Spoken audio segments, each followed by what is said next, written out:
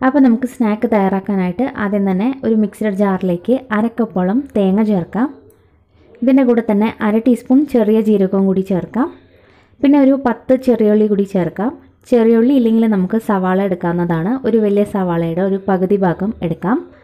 പിന്നെ ഇതിലേക്ക് ഒന്നെങ്കിൽ പച്ചമുളക് ചേർക്കാം അല്ലെങ്കിൽ മുളക് പൊടി ചേർക്കാം. ഞാനിവിടെ മുളക് പൊടിയാണ് എടുക്കുന്നത്. അപ്പോൾ ഒരു അര ടീസ്പൂണോളം ചേർക്കുന്നുണ്ട്. എരിവ് കുറച്ചും കൂടി വേണമെങ്കിൽ നമുക്ക് ഒരു ടീസ്പൂൺ വരെ ചേർക്കാം. ഇതൊന്ന് ക്രഷ് ചെയ്തെടുക്കുക. വെള്ളമൊന്നും ഒഴിക്കാതെ ക്രഷ് ചെയ്തെടുക്കണം. ഇനി അതേ ജാറിലേക്ക് തന്നെ നമുക്ക് ചോറാണ് ചേർക്കേണ്ടത്.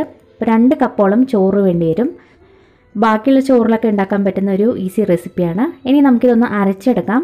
ഇപ്പോൾ ചെറിയ ജാറായ കൊണ്ട് രണ്ട് തവണയായിട്ടാണ് ഇത് അരച്ചെടുത്തിരിക്കുന്നത്. പറ്റാവുന്നത്രയും നല്ല ഫൈൻ പേസ്റ്റായിട്ട് അരച്ചെടുക്കുക. വെള്ളമൊന്നും ചേർക്കാതെ വേണം അരച്ചെടുക്കാനായിട്ട്. ഇനി ഇതിലേക്ക് അര കപ്പോളം റവയാണ് ചേർക്കേണ്ടത്. വറുത്ത റവയോ വറുക്കാത്ത റവയോ ഏത് വേണമെങ്കിലും ഉപയോഗിക്കാം. ഇനി ഇതിലേക്ക് ആവശ്യത്തിന് ഉപ്പും കൂടി ചേർക്കാം. അപ്പോൾ ചോറിൽ ഉപ്പിട്ട് വേവിച്ചാണ് എടുക്കുന്നതെങ്കിൽ ഉപ്പ് നമ്മൾ നോക്കി ചേർത്താൽ മതി.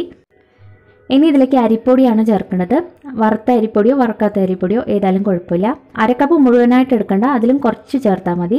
പിന്നെ കുറച്ച് കരിവേപ്പില ചെറുതായിട്ട് കട്ട് ചെയ്ത് ചേർക്കാം. ഇനി ഇതെല്ലാം കൂടി നന്നായിട്ടൊന്ന് കുഴച്ചെടുക്കണം. ഒട്ടും തന്നെ വെള്ളം ചേർക്കാതെ വേണം കുഴച്ചെടുക്കാനായിട്ട്. ഇത് കയ്യിലൊന്നും അങ്ങനെ ഒട്ടിപ്പിടിക്കൊന്നുമില്ല അഥവാ ഒട്ടിപ്പിടിക്കുന്നുണ്ടെങ്കിൽ ഒരു സ്പൂൺ എണ്ണയും കൂടി ഒഴിച്ചതിന് ശേഷം നന്നായിട്ടൊന്ന് കുഴച്ചെടുത്താൽ മതി. ഒട്ടും തന്നെ ഒട്ടിപ്പിടിക്കില്ല. അപ്പോൾ നമ്മൾ ഈ രീതിയിൽ കുഴച്ചെടുത്തിട്ടുണ്ട്. ഇനി ഇത് ചെറിയ ബോൾസ് ആക്കി നമുക്ക് എടുക്കാം.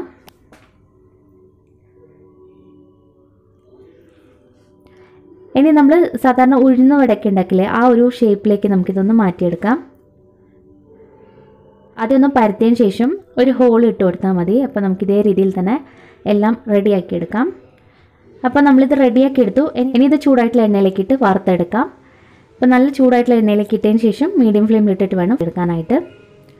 ഇതൊട്ടും തന്നെ എണ്ണ കുടിക്കില്ല കേട്ടോ. കാരണം നമ്മളിതിലേക്ക് റവയും അതുപോലെ തന്നെ അരിപ്പൊടി ചേർത്തായിരുന്നു ഒട്ടും തന്നെ എണ്ണ കുടിക്കില്ല.